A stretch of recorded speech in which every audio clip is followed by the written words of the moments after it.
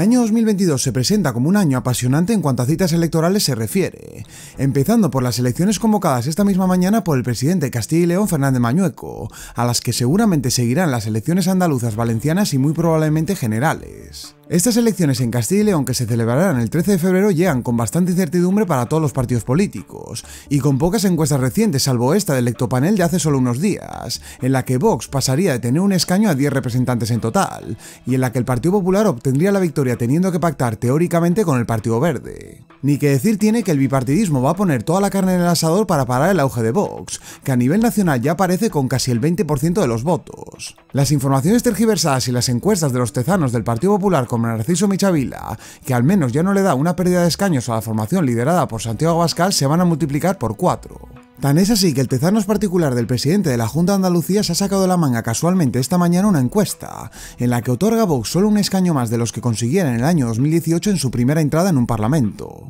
Algo verdaderamente difícil de creer cuando el presidente andaluz acaba de implantar medidas anticonstitucionales y discriminatorias al más puro estilo Pedro Sánchez, como es el pasaporte COVID, ante lo que la más que posible candidata de Vox, Macarena Olona, ya ha asegurado que no pasará por el aro y no mostrará sus datos médicos pese a tener la pauta completa. Pero atención porque la locura del Partido Popular no termina aquí, ya que pacta sin tapujo de ningún tipo los presupuestos de Ceuta con el PSOE, firma documentos a través de su plataforma Navarra Suma junto a Bildu, y pide una vez más a Pedro Sánchez que se apruebe una ley de pandemias, con la que poder encerrarnos cuando al dictador autonómico de turno le venga en gana, poniendo como ejemplo además a Países Bajos, que ha decretado un confinamiento estricto tal y como hacía la diputada del Partido Azul Ana Pastor en el día de ayer. Cualquiera diría que desde el Partido Popular se lo están poniendo en bandeja una vez más al presidente del gobierno, que en el día de ayer se marcaba un mini aló presidente en Cataluña, que solo llevó a cabo para poder así justificar su viaje en Falcon al Congreso de los Socialistas Catalanes que tenía dos horas más tarde, en el que por cierto se juntó con 1.500 cargos tras anunciar restricciones que se tomarán en los próximos días, con dos narices. Por cierto, en este congreso en el que su santidad fue recibido en Lord de multitudes se pudieron escuchar soflamas,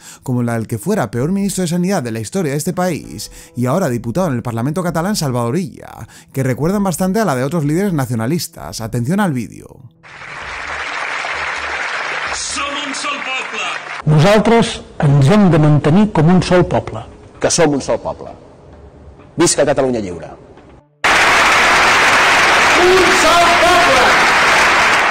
De salir en defensa del niño de Canet de Mar ni hablar, más bien justo lo contrario. Eso sí, el riego de los socialistas en cuanto a infraestructuras en Cataluña no para y ya casi multiplica por cuatro la inversión que se dedica a Madrid. Luego que si España ens roba. En España los que más roban son precisamente los separatistas y los socialistas, que son tan generosos como los pares de Pedro Sánchez, que bajaron un 55% el sueldo a sus empleados el año que su hijito llegó a la Moncloa y como premio recibieron más de 700.000 euros como ayudas COVID. Mientras tanto la luz sigue por las nubes con otro récord absoluto, que ya no convence ni a los propios socialistas, entre los que ya hay un 88% que no se calla ante las falsas promesas del gobierno respecto a la factura de la luz. Eso sí, los votantes socialistas y el resto de españoles deberían saber también que este gobierno tiene un plan para los pensionistas que no les gustará demasiado. Y no es ni más ni menos que el recorte de las pensiones durante 36 años al que nos vamos a ver abocados, por la incompetencia del bipartidismo de Partido Socialista y Partido Popular que no han querido abrir nunca el melón. Mientras tanto, los sindicatos siguen a la suya, engañando a todos los que creen en ellos todavía, y avalan ahora una reforma laboral suave a la espera de que los comunistas como Yolanda Díaz endurezcan su posición con discursitos como estos,